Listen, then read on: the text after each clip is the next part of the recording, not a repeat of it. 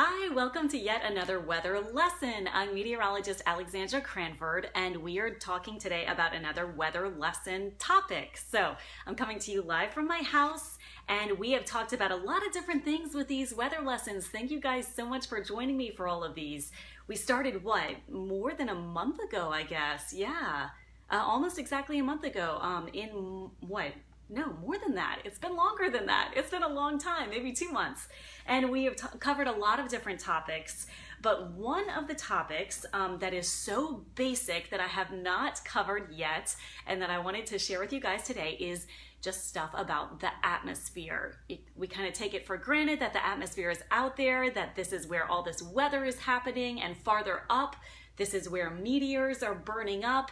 This is where all sorts of things are keeping us um, from burning up and also keeping us from freezing. All these things going on in our atmosphere, and yet we haven't really talked all that much about the atmosphere itself just yet. So that's what we're talking about today in our weather lesson. And there are some very interesting things about the atmosphere. So, what we'll cover today is I think first we'll just kind of talk generally about what it is. Um, we will then look at what it's made of.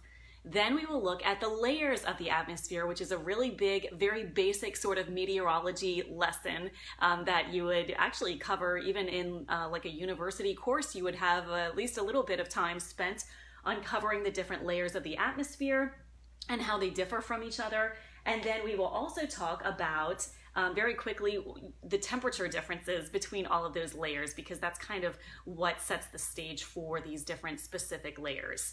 So, for all my student friends, welcome. I hope you're doing well. Goodness, we're getting towards summer, aren't we? But we're still um, doing our weather lessons, and I have little Ben coming in just in time. Hey, Benny.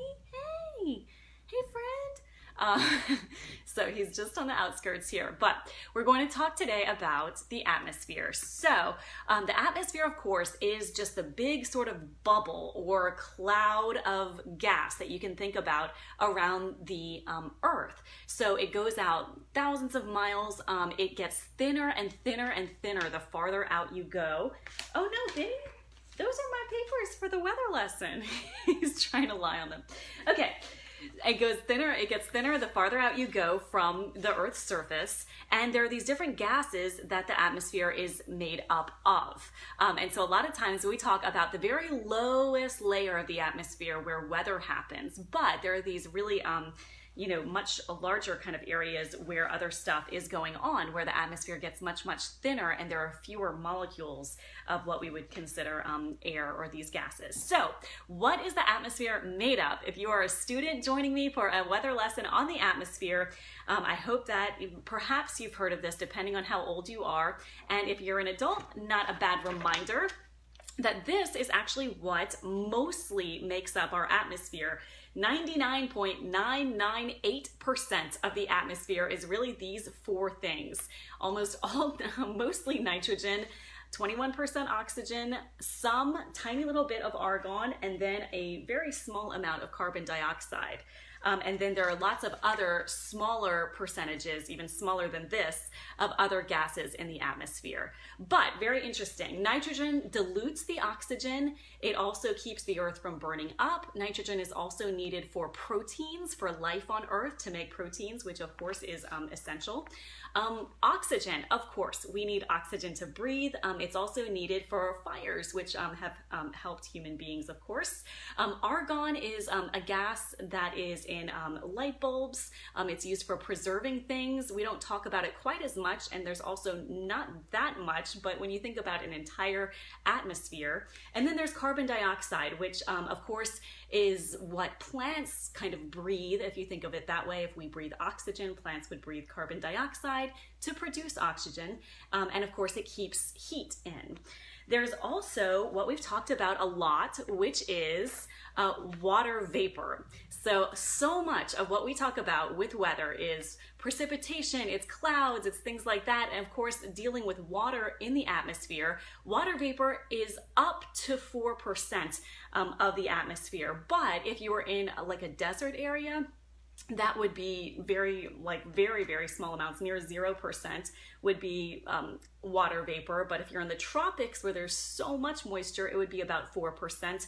Where we are um, very close to the Gulf, like on a hot, humid day, it would be roughly about maybe uh, 3% or so water vapor. So when we talk about a lot of um, moisture increasing in the atmosphere, getting a lot of water vapor in the atmosphere, feeling really humid, um, keep in mind it's still only uh, up to three or four percent um, water vapor. So that is the atmosphere, um, kind of in a nutshell. And so of course it is cons consists of all these different gases.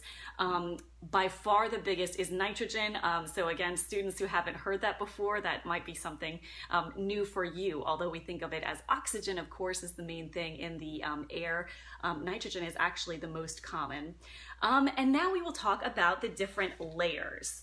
And this, again, is something that you would encounter if you are learning about a very basic weather lesson for students in uh, middle school or junior high. And then also, again, even in a university course, an introduction to meteorology at a college or university would also cover um, these different layers. So here they are, the layers of the atmosphere. You can imagine the Earth's surface right here, and then this is going up toward space. So moving from the surface and going up. So just very quickly, kind of to take it in, um, I guess we'll start, um, we could start with either one, but I guess we'll start with the exosphere since it's way at the top. And this would be about 375 miles above the Earth's surface that the exosphere begins. And again, it gets thinner and thinner kind of the, the farther out you get from the surface. Hey guys, thanks for tuning in and telling me where you guys are watching from. I like to see that. The um, next layer would be the thermosphere. So I guess two out of five um, would be the thermosphere. This is very, very high up, more than 50 or so miles away from the surface of the Earth. That's where you would see um, space shuttles. That's where they would um, sometimes move through. Also auroras. We talked earlier in a weather lesson about the aurora borealis and the aurora australis, and that would be in the thermosphere. So pretty extremely far away from the Earth, uh, but still in the atmosphere that that would happen. Um, then we have the mesosphere, and that would be roughly about 30 miles away from the Earth's surface is where that one would start. And that is where the atmosphere begins to get a little bit thicker. It has a little bit more um, substance, more molecules. And so for that reason, the mesosphere is the layer of the atmosphere where meteors um, appear. So these little bits, um, we've also covered meteors in a previous weather lesson this is where the little bits, um, these meteoroids we've talked about, would enter the atmosphere and then eventually would burn up. And that happens starting really in the mesosphere. So these two are kind of the outer uh, layers. This one almost barely even a layer. And then the mesosphere. And the next one would be kind of the middle atmosphere. And the middle one is the stratosphere, which I'm sure you may have heard of before. And that depends um, on whether you're at the equator or at the North Pole, but it's roughly about 4 to 12 or so miles up from the surface of the Earth. Um, and so that is where eventually weather balloons, when they um, put off the National Weather Service, uh, sends up these weather balloons daily that would go all the way up into the stratosphere, um, many miles, but not this many miles above the Earth's surface. And so that would allow the weather balloon to travel all the way through this layer and then eventually get into the stratosphere. And the troposphere is um, a bit of a smaller um, area compared to the others. And again, it goes up to, from the surface to about 4 to 12 miles um, above the surface. And this is mainly where we have our weather happening. So when we talk about a weather and we are discussing storms and clouds and things like that, it's almost all happening in this layer. Again, a fairly kind of close to the earth layer of the atmosphere called the troposphere. And something also of note is that these divides, the spaces kind of between where the, it's there's a quick transition from one layer to the next, those um, use the word pause. So the same beginning of the word, but instead of sphere to describe the layer, it is really kind of the boundary. So it would be the tropopause right here between the troposphere and stratosphere. This would be the stratopause and so forth. So something, just a little um, weather note for um, those of you guys who are interested in that. And the way that we kind of look at the different layers and a big thing that divides them is temperatures. So interestingly, there are these different things happening with the temperature profile as you go up in the atmosphere. Um, so this is just a very basic graph. You can see that imagine the Earth's surface is down here and this is going higher up in the atmosphere. So you will see all the same layers, troposphere, stratosphere, mesosphere, thermosphere, and eventually exosphere. And then this is a little graph showing the, the temperatures and this way would be going warmer.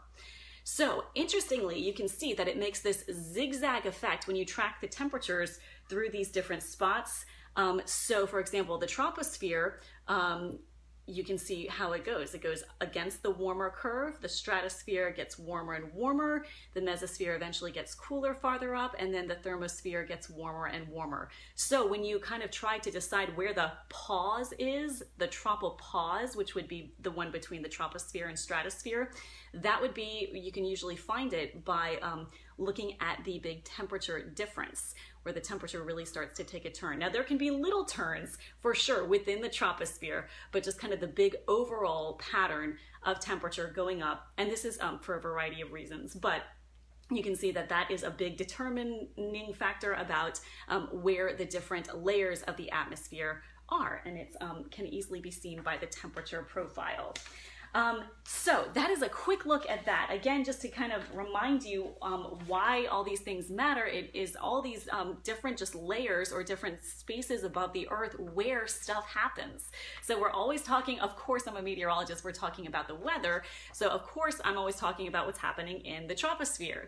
Um, when we do our segments on meteors and we talk about meteor showers, um, that's happening again in the mesosphere. Um, sometimes we talk about auroras. We have certainly done that before in weather lessons, as I mentioned. And if you go really far to the north or the south near the poles, um, then you you know there's there's more uh, chance of course of seeing that or that's where you have to go to see the auroras and that's even higher up in the atmosphere so something um, very interesting i think to kind of begin the sort of discussion about weather and about the atmosphere this would be a very very um, kind of basic underlying thing to realize about our atmosphere and how interesting it is and how it's made up again of nitrogen and then a little bit of oxygen and then a smaller bit of argon, even smaller bit of carbon dioxide and water vapor, not very much, up to 4% or so, even though that's what we as meteorologists talk about so much. The water vapor eventually condensing into clouds and coming down as precipitation and rain chances and all of that. It's so interesting to me how all of this